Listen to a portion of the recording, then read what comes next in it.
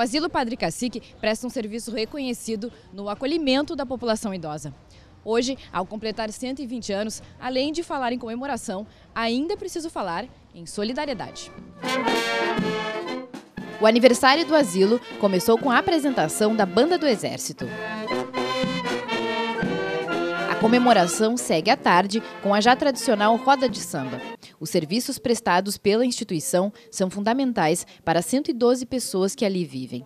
Por isso, mesmo em dia festivo, é preciso lembrar que o padre cacique precisa de ajuda. A situação financeira está muito crítica, muito crítica mesmo, e, e, e eu temo que realmente, chegando ao final do ano, se os empresários não nos auxiliarem na nossa nosso projeto de custeio do Fundo do Idoso, nós vamos ter que encerrar as atividades. Com os apelos para manter o local, as doações de alimentos lotaram a dispensa. Por isso, o pedido agora é diferente.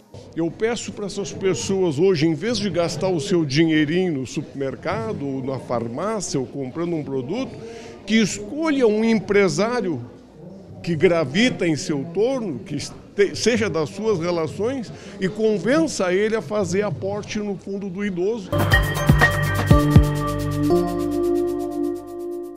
Nesta terça-feira, a massa de ar polar perde força e o tempo fica firme e ensolarado com poucas nuvens. As temperaturas serão agradáveis na parte da tarde, mas o frio volta no início da noite, embora bem menos intenso do que nos últimos dias.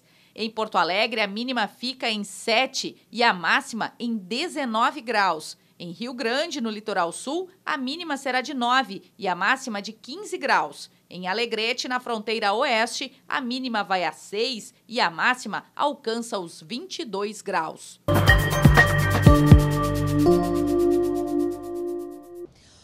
Terminam hoje as inscrições para as bolsas de estudo do curso de técnico de enfermagem oferecidas pela Escola de Formação Profissional do Hospital Moinhos de Vento.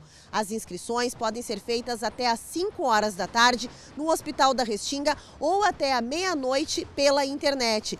São 44 vagas oferecidas exclusivamente para moradores do extremo sul da cidade, dos bairros Restinga, Belém Novo, Chapéu do Sol, Lajeado, Lami e Ponta Grossa.